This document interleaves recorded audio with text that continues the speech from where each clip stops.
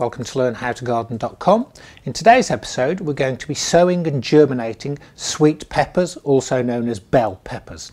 If you're not already subscribed to us at Learn How to Garden, there's a link just here on my right and if you click on that it'll take you to the website input your email address it means you get information not available on the video aggregators the written posts you get the free monthly newsletter and all the other things that we're doing at learn how to garden sweet peppers are one of my favorite things to grow in the greenhouse and that's because they're so useful we can use them raw in salads we can stuff them we can roast them and they take on that beautiful sweetness.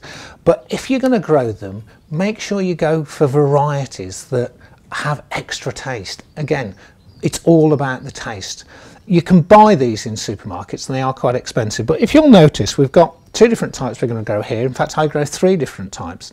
And we've got a red and a yellow. The green peppers that you see for sale in the shops are actually just normal peppers that aren't ripe. And we've all been, um, if you like, sold this story that green peppers are different. And the only reason that we have green peppers is because they can be picked earlier, therefore they can get to market quicker. But if you eat green peppers, they're the ones that can sometimes give you problems with indigestion. Some people, it sort of certainly makes them um, get, I'm ever so sorry. The whining in the background is my young rescue uh, English pointer called Hattie. So I'll continue and uh, hopefully sort of she won't be too much of a uh, pain.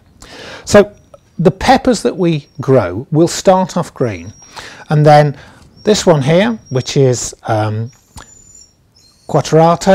will eventually go red and the Gagliardo d'Asti will eventually go yellow, but we sow them all in the same way. The other one that I grow is called Topepo Rosso, which is a, again a small squat, thick-walled red pepper, fantastic for stuffing.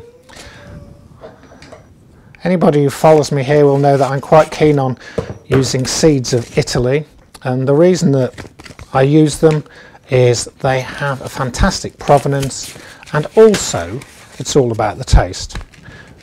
And sweet pepper seed is quite big, so it's easy to sow, much, much easier than chili peppers. And the two ways you could sow it, you could take a normal seed tray, fill that with a normal seed compost, sprinkle your peppers on so they're about a centimetre apart, put a tiny bit of vermiculite on the top into the propagator.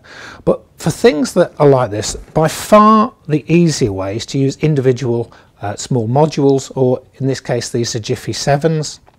And all we do is take our dibber, make a small indentation in the top, we take a single seed, drop it in, take a tiny bit of fine vermiculite, drop that onto the top and that will go into a propagator at between 21 and 27 degrees.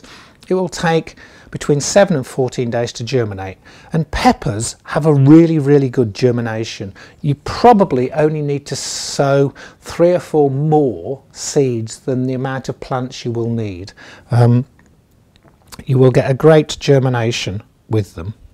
So we drop the seed into the Jiffy 7, tiny bit of vermiculite. The reason we use vermiculite, it does two things. It allows a tiny bit of light onto the seed, but it also keeps the moisture content perfect for germination. It doesn't allow it to dry out, but it also doesn't allow it to get too wet.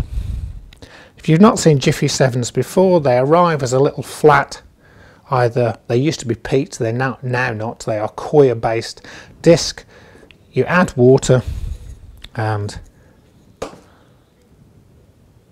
they expand. Single seed dropped in, vermiculite, and I shall do this whole tray. I'll label it up into the propagator. As soon as they're germinated, we'll take them out of that warm propagator and we'll either put them on a heat mat or another propagator, which is again, that will be kept at about 20 degrees so that the bottom of the plant is still warm, but the top is much cooler so they grow slowly. Again, the trick is to grow these slowly.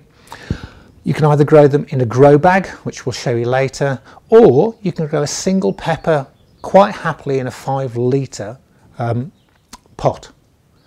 as long as you've got quite nice uh, potash rich, potash rich growing medium. And that is simply how to sow and germinate sweet or bell peppers.